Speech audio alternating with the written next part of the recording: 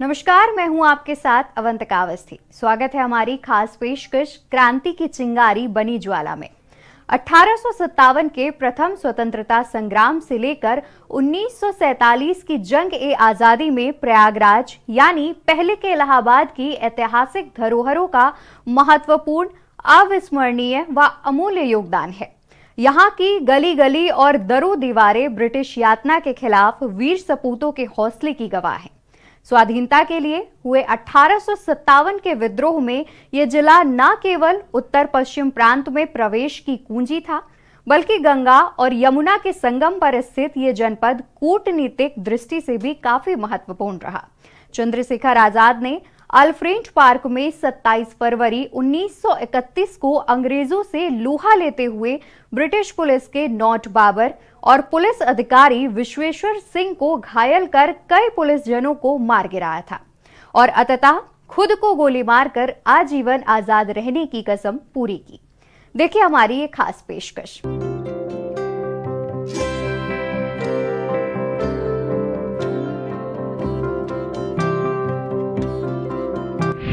भूरागढ़ दुर्ग में स्वतंत्रता संग्राम की यादें। देश की आज़ादी में बुंदेलखंड, खासतौर पर बांदा किरण बाकुरों ने बढ़ चढ़ कर हिस्सा लिया था, जिनके निशान आज यहाँ दिखाई देते हैं। बता दें कि बुंदेलखंड के ऐतिहासिक शहर बांदा में केन नदी किनारे स्थित भूरागढ़ दुर्ग स्वतंत्रता संग्राम की अनेक यादें संजोए हुए हैं। दरअसल क्रांतिकारियों का गढ़ था भूरागढ़ किला। जंग आज़ादी में जान देने वालों की स्मृति में यहाँ स्मारक बनाया गया। चौदह जून अठारह सौ सत्तावन को अंग्रेज़ों के खिलाफ यहाँ युद्ध का आगाज़ हुआ। इसका नेतृत्व नवाब अली बहादुर द्वितीय ने किया। यूपी और बिहार के क्रांतिकारी भी इसमें शामिल हुए इसी दौरान क्रांतिकारियों ने तत्कालीन ज्वाइंट मजिस्ट्रेट काकरोल की 15 जून अठारह को हत्या कर दी थी। चमक उठी सन संतावन में, वो तलवार पुरानी थी, खूब लड़ी मर्दानी, वो तो झांसी वाली रानी थी। रानी लक्ष्मीबाई का नाम आज भी अंग्रेज़ों के साथ युद्ध के लिए जाना जाता है।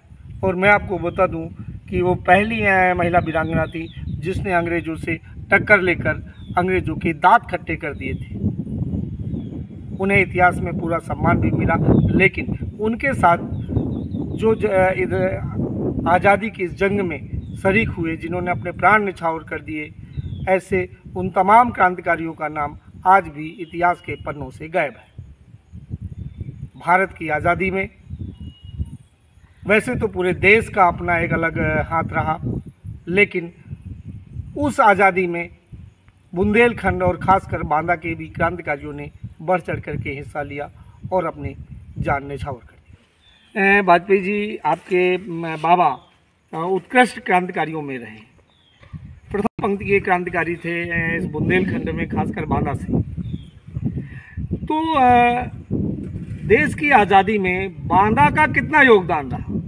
देश की आज़ादी, बेशुमार आज़ादी के दीवानों ने जंग आज़ादी में कुर्बानी अनगिनतों के नाम तो इतिहास के पन्नों में भी दर्ज नहीं है। सादत अली उर्फ़ अली बहादुर का इस जंग आज़ादी में सन अठारह उन्नीस सौ सन्तावन, अठारह सौ में सराहनीय योगदान रहा। रानी लक्ष्मीबाई द्वारा भेजी गई राखी के पर वो उनसे युद्ध युद्ध के लिए गए। उस दौर ज़माने पे उनका, उनके महल के पास जो खंडरहा अंटा घर बना हुआ जिसे बिलियड कहते हैं, वहाँ पर कॉकरोल नाम के एक अंग्रेज़ की हत्या कर दी गई थी। 16 अप्रैल अठारह सौ अट्ठावन को जनरल भिटलाग ने यहाँ पर अटैक किया और उस, वो शहीद हुआ, जिसका जिसका स्मारक महाराणा प्रताप चौक चौराहे पर आज भी बना हुआ है। इस जंग आज़ादी में सन उन्नीस उन्नीस में पंडित लक्ष्मीनारायण नगुती झाड़ू नाना लोहे वाले जगन्नाथ करवरिया, रामनाथ विशारद गुप्त आदि लोगों ने सन इक्कीस में विदेशी वस्त्र बहिष्कार, असहयोग आंदोलन में विदेशी कपड़े की होड़ी कोतवाली के सामने जलाई थी। यहाँ के सभी क्रांतिकारियों ने परोक्ष रूप से, अपरोक्ष रूप से सही मदद की, योगदान दिया। उसमें इस, उन लोगों से मिलने के लिए चंद्रशेखर आज़ाद, सुभाष, सतीश चंद्र सान्याल बांदा आए और रुकते थे। यहाँ पर वो मंदिर है, उस पर अक्सर रुकते थे। उन क्रांतिकारियों से इन लोगों का संपर्क बना हुआ था। भुलाया नहीं जा सकता क्रांतिकारियों का बलिदान। आपको बता दें कि अप्रैल अठारह सौ अट्ठावन को अंग्रेज़ अफसर विटलप का बांदा आगमन हुआ। उसका बांदा के क्रांतिकारियों से आमना सामना हुआ। इस युद्ध में करीब 3000 क्रांतिकारी शहीद हुए। हालाँकि बांदा गजेटियर में सिर्फ़ 800 के शहीद होने की बात दर्ज है। इन्हीं शहीदों में 28 लोगों के नाम भूरागढ़ दुर्ग के स्मारक शिलापट पर दर्ज है। युद्ध में नज़दीक के गाँव में रहने वाले नटों ने भी भाग लेकर अपना बलिदान दिया था। तब से बुरागढ़ का किला देशभक्ति और स्वतंत्रता संग्राम के क्रांतिकारियों की यादगार के रूप में जाना जाने लगा। खास बात तो यह है की अंग्रेज़ों के खिलाफ युद्ध करने वाले क्रांतिकारियों में हर धर्म मज़हब के लोग शामिल थे। हम हमारे साथ बैठे हैं जो हमारे बुंदेलखंड के क्रांतिकारी रहे पंडित गोपीनाथ धनाधन जी उनके बेटे यहाँ पर हैं। उनसे जानेंगे कि किस तरीके से पंडित गोपीनाथ जी ने यहाँ पर अंग्रेज़ों से लोहा लिया और किस तरह की क्या रणनीति रही और कौन कौन से क्रांतिकारी उनसे मिलने आते रहे। तो सबसे पहले आपका बहुत बहुत स्वागत है। क्या शुभ नाम आपका? सत्य प्रकाश द्विवेदी एडवोकेट सत्यप्रकाश जी, आपके पिताजी की बात करें तो आपके पिताजी पंडित धनाधन जी किस स्तर के क्रांतिकारी रहे और क्या क्या उन्होंने देश की आज़ादी में कौन कौन सी लड़ाइयाँ लड़ी, कितनी बार जेल गए और कौन कौन से क्रांतिकारी उनसे मिलने आते रहे?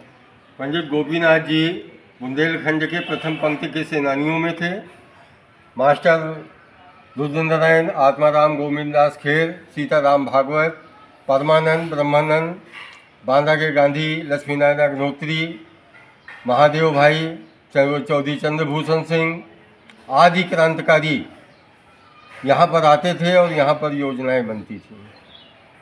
तो यहाँ और भी बाहरी क्रांतिकारी भी यहाँ आए जैसा कि जानकारी मिली कि बुंदेलखंड में हम सुभाष चंद्र बोस और चंद्रशेखर आज़ाद की भी उपस्थिति यहाँ रही है।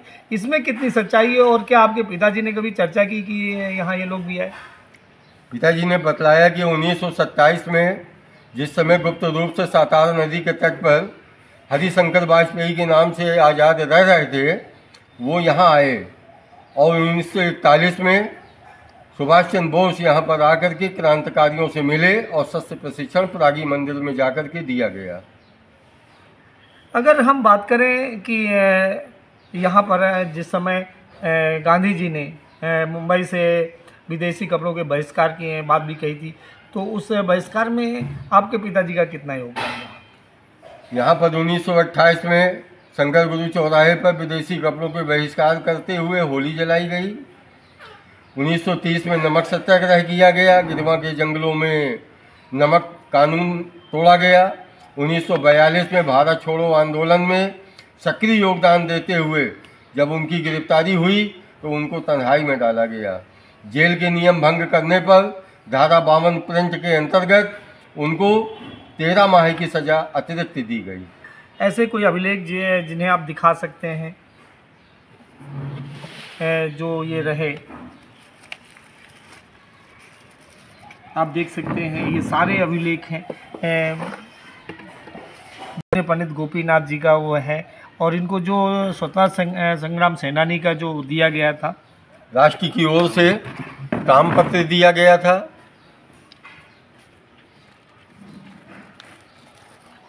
ये 1922 का फ़ोटो है। पंडित लक्ष्मी नारायण अग्नोत्री के नेतृत्व में पूरा क्रांतिकारियों का दल है। जिला का कारागार सुपरिटेंडेंट के द्वारा 1942 का भारत छोड़ो आंदोलन का ये प्रमाण पत्र जारी है।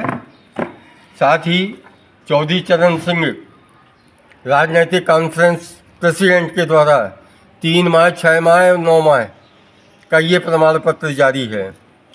ये 1972 में काम पत्र माननीय प्रधानमंत्री श्रीमती इंदिरा गांधी द्वारा राष्ट्र की ओर से उन सम्मानित स्वतंत्रता सेनानियों को दिया गया था, जिन्होंने देश की आज़ादी में अपना योगदान दिया था।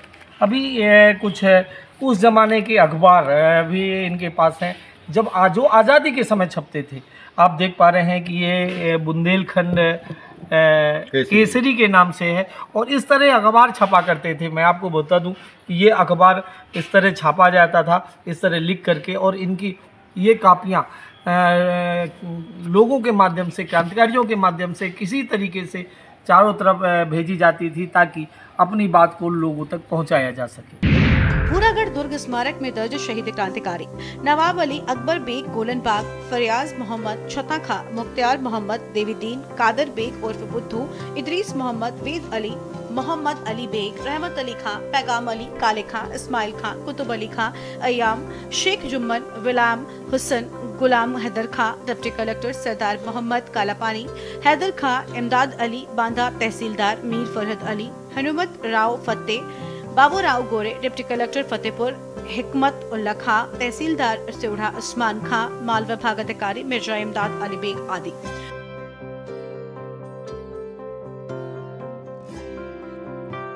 देश की आज़ादी में बुंदेलखंड खासकर बांदा का कितना योगदान रहा? देखिए बुंदेलखंड की भारत की आज़ादी बुंदेलखंड खास हमारे बांदा का बहुत योगदान रहा। हमारे यहाँ बांदा में लक्ष्मी नारायण अग्नोत्री और गोपीनाथ वाजपेयी और गोपीनाथ जनार्दन और लल्लू राम गुप्ता। इसमें से कई ऐसे स्वतंत्रता संग्राम सेनानी थे। उसके नाम मैं विस्मृत कर रहा हूँ। जैसे अ, कटरा में दीपक बाबू दीपक बाबू और प्रसाद कुंवर हर कुंवर हर प्रसाद जी ये सब लोग थे। तो इन्होंने हमारे देश की आज़ादी के लिए वो संघर्ष किया है। जो पुराना नॉर्मल स्कूल है, जहाँ पर जिला पंचायत की मार्केट बनी है, यहाँ पर नॉर्मल स्कूल था इसकी यहाँ पर पीपल का पेड़ था, उसके चबूते में गांधी जी की सभा हुई थी, सब लोग गए थे। हमारे यहाँ मोहल्ले में, इसी छोटी जार मोहल्ले में एक फ्रीडम फाइटर थे श्री नरोत्तम लाल गुप्ता एडवोकेट हालाँकि आम रिकॉर्ड वो कभी सूचीबद्ध नहीं हुए, क्योंकि वो क्योंकि वो एक, उनके पिताजी बहुत बड़े अधिकारी थे रजिस्ट्री में तो उस वजह से उनको शेल्टर मिलता रहा। लेकिन वो क्रांतिकारी थे। यहाँ उनके पास में मनमोहन नाथ गुप्ता और वैशंपायन जी वगैरह तमाम क्रांतिकारियों का संपर्क रहा और वो बहुत क्रांतिकारी काम करते थे। और जब भारत की आज़ादी के बाद उन्नीस सौ अठारह संतावन की शताब्दी मनाई गई तो उन्नीस सौ संतावन में district gazetteer recom recompilation committee के चेयरमैन बनाए गए तो भारत की आज़ादी में उस समय घर घर क्रांति की अलग जगी हुई थी। और पुराने लोगों में तो अब पीढ़ियाँ ख़त्म हो गई, लोग नाम लेने वाले वह बचे हैं। तो ऐसा तो है नहीं, लेकिन ये कि जो हमारी भारत की आज़ादी के लिए लड़ाई लड़ने वाले रणबांकुरे थे कुछ गांधीवादी थे तो कुछ क्रांतिकारी भी थे। और लोगों ऐसी जनस्थिति में सुना करता था कि सरदार चंद्रशेखर आज़ाद जी ने अपनी फरारी का दिन यहाँ भी काटा था। बनौटा में किसी के घर में रुके थे। बहुत सारी कथाएँ हैं सुनते हैं कुछ स्मृत में है कुछ विस्मृत हो गई। इस मंदिर के बारे में बताइए और ये मंदिर का आज़ादी में कितना योगदान रहा? आज़ादी में सर हमने सुना है जब हम आए थे यहाँ तो गेट लगा था हाथी दरवाज़ा था और नीचे बेसमेंट था और सब टूटा हुआ इधर उधर दीवारें नहीं थी पड़े था मैदान था। और बताते हैं कि चंद्रशेखर आज़ाद यहाँ रुके रहे हैं आज़ादी के समय में।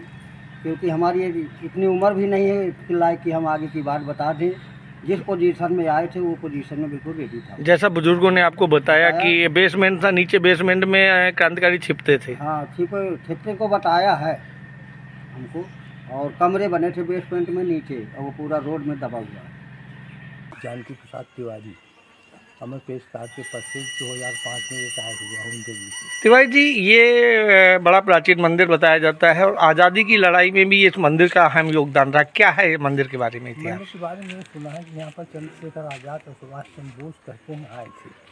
और यहाँ से जो है उन्होंने ये नवाब साहब थे यहाँ के। वो वो शामिल थे अठारह सौ सत्तावन की में। उनका नाम आता है।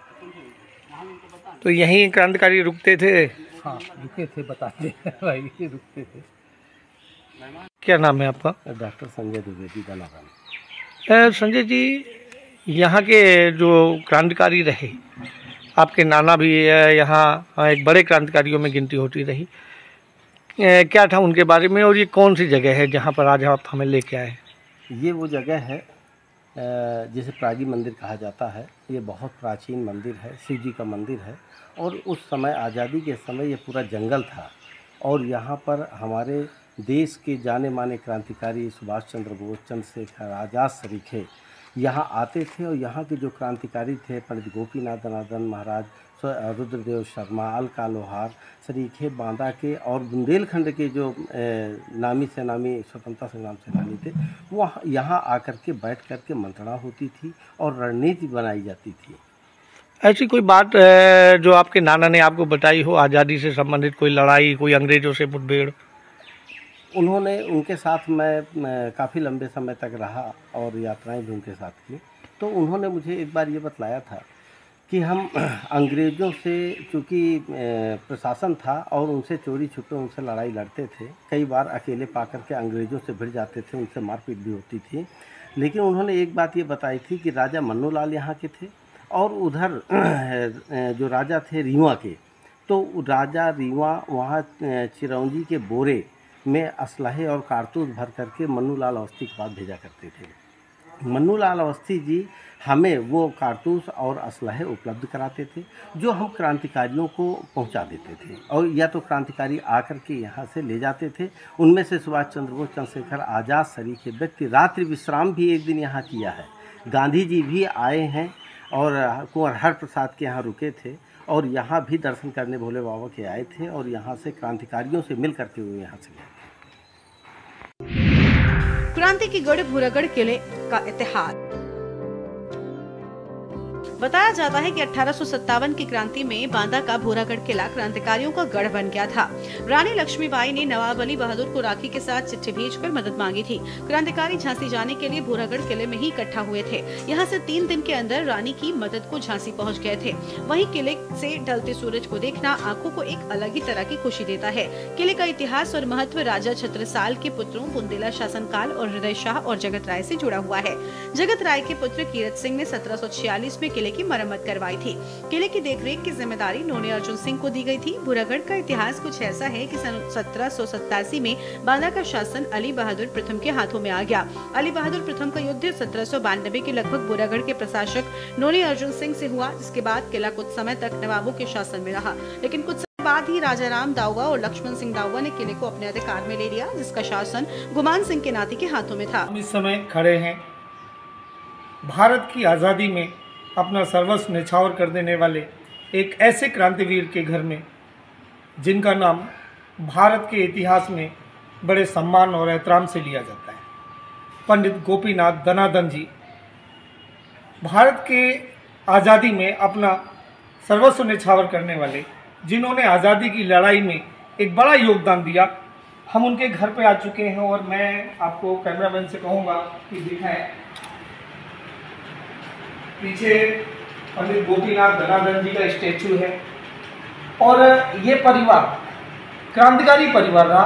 और मैं अपने कैमरामैन से कहूँगा कि ऊपर भी दिखाएँ इन्होंने जो उपलब्धियाँ हासिल की, इन्होंने आज़ादी की लड़ाई में जो अपना योगदान दिया। और साथ में इनके बड़े भाई पंडित रुद्रदेव शर्मा जी। ये भी क्रांतिकारी रहे।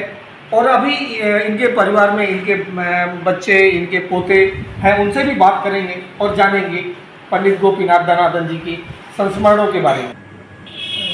पेपर में भी निकला था। गवर्नमेंट की पत्रिका निकली थी। उन्नीस सौ इक्कीस में और उन्नीस सौ तेईस में दो बार जेल गए। और हमारी दाई थी मूर्ति करते थे तो लोग मिलने आते रहते थे किसी प्रकार की दिक्कत जब जेल है कि कोई दिक्कत हो कोई परेशानी हो तो बताइएगा। सब खाने पीने की व्यवस्था ये आपके पिताजी क्रांतिकारी रहे और उन्होंने अखबार भी निकाला। उस समय कौन सा अखबार निकालते थे? सत्याग्रही नाम। सत्याग्रही भारत की आज़ादी में बुंदेलखंड, खासकर बांदा का कितना योगदान रहा और यहाँ जो कालविनगंज चौराहा है, इसका नाम कैसे पड़ा? अंग्रेज़ अधिकारी थे उनकी उपस्थिति में इस चौराहे में स्वतंत्र सेनानियों ने झंडा फहराया था और वो झंडा फहराने से रोकने में सक्षम नहीं रहे। इसलिए इसका नाम झंडा चौराहा बोलते हैं और कॉलविन मिस्टर कॉलविन के नाम से इसको कॉलविनगंज मोहल्ला बोलते हैं। इसमें एक और भी अधिक अधिक नाम आता है। हाँ इसका एक और उदाहरण है कि यहाँ मिस्टर हार्पर एक कलेक्टर थे उनके नाम से हार्पर क्लब जाना जाता है। कॉलविन के नाम से कॉलविनगंज जाना जाता है। आपके बाबा भी पुराने जमींदार रहे। हाँ, और आज़ादी के में उनका भी प्रत्यक्ष परोक्ष रूप से काफ़ी सहयोग रहा।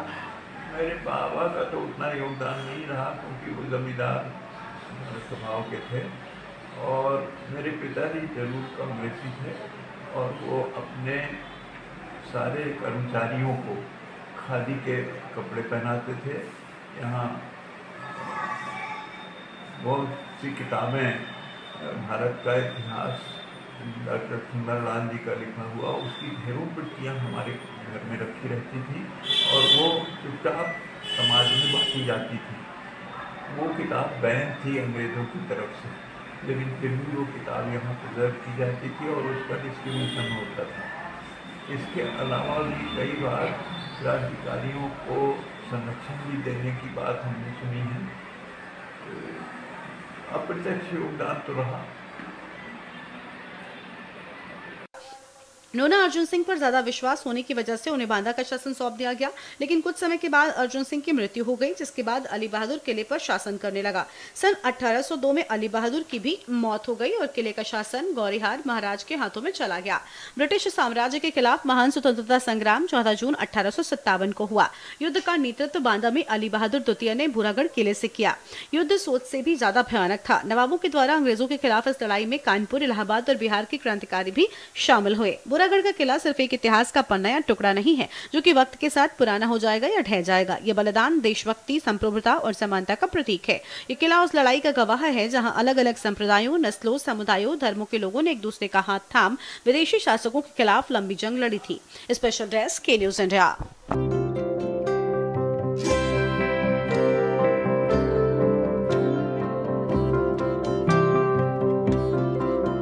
हमारी खास पेशकश में बस इतना ही। देखते रहिए के न्यूज़ इंडिया नमस्कार।